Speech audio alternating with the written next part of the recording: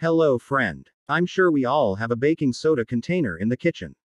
Today we are going to discuss the top 10 uses of baking soda in the garden and at the end of this video a very interesting baking soda garden hack.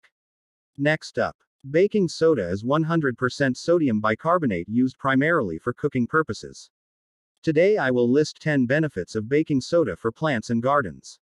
It is a 100% biodegradable, non-toxic, inexpensive organic solution in gardening. 1. As a pesticide and fungicide, you can make a highly effective organic pesticide spray with baking soda to kill harmful pests and insects in the garden like powdery mildew, aphids, spider mites, slugs and snails as well as fungal attacks.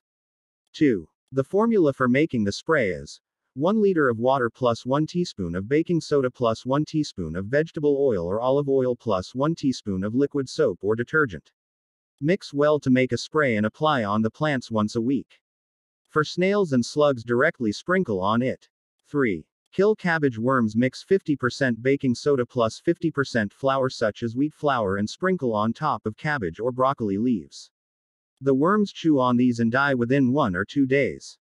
4. Cleaning plants foliage to remove dust and dirt which promotes better photosynthesis and better health of your plants.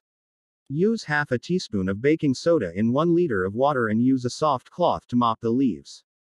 5. Also clean garden tools, pots and garden furniture. Use 1 to 2 teaspoons of baking soda plus 1 minus 2 teaspoons of liquid soap in 1 liter of water for cleaning. 6. Sprinkle baking soda on your compost pile to get rid of bad smells. 7. To encourage blooming, spray a solution of 1 teaspoon baking soda in 1 liter of water.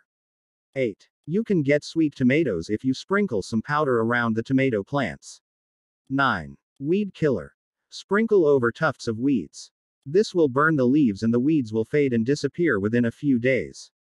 10. To keep cut flowers fresh, just add 1 teaspoon of baking soda to the vase water.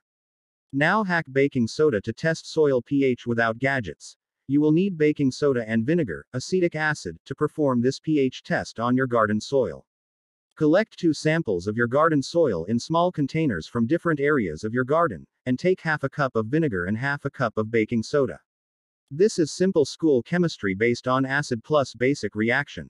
Acid pH below 7, base above 7 and neutral 7 or water pH. So when you pour vinegar on one of the soil samples and if the soil starts to bubble, it's alkaline, meaning the pH level is above 7. If there is no reaction, take your other sample and pour half a glass of water then baking soda.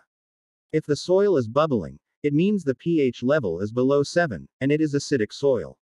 Well, that's 10 benefits of baking soda for gardening.